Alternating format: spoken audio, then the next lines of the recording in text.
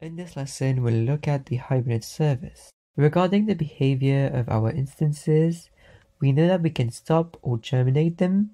When we stop them, all the data on our hard disk or on our EBS volume is kept and will be restored on the next restart.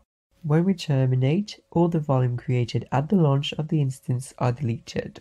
What happens when the machine starts up?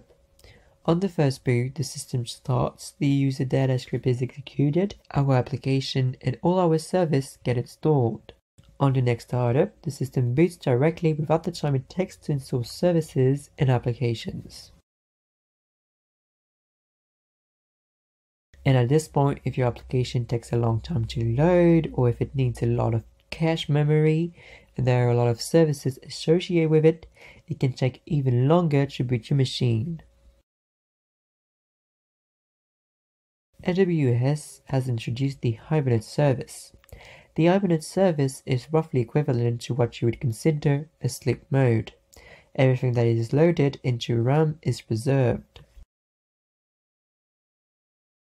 This makes booting faster because the system is not stopped or restarted like a snapshot.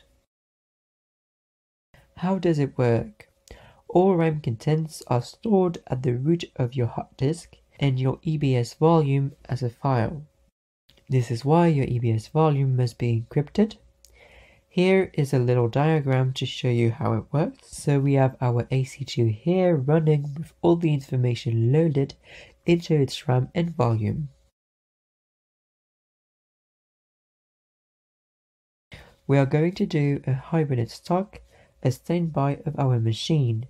The hibernation phase corresponds to a RAM backup at the root of our EBS and the shutdown of the machine, the instance. In fact, we stop the instance, but we do not stop the operating system. So when we restart our instance, the system will be up and the RAM will be reloaded from our EBS. What is good to know about EC2 Hibernate? Not all instances type are supported. You can't do Hibernate on T2 or T3 for example. Only C3 to 5, M4 to 5 and R3 to 5 are supported for Hibernate mode. The RAM size must be less than 150 gigs. In terms of instance size, Hibernate is not supported on bare metal servers so if you have restored, let's say 500 gigas of hard drive for a server, it won't work, it's not allowed.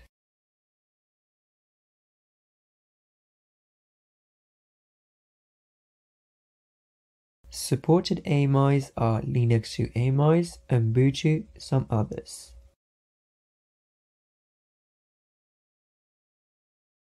The root volume must be an EBS, it must be encrypted, cannot be an instant shop and must be large enough to accommodate the memory dump file. Hibernate is only available for on-demand or reserve instances. Hibernation will not be possible due to the ephemeral nature of these instances. Finally, an instance cannot be hibernated for more than 60 days. That's it for the hibernate mode.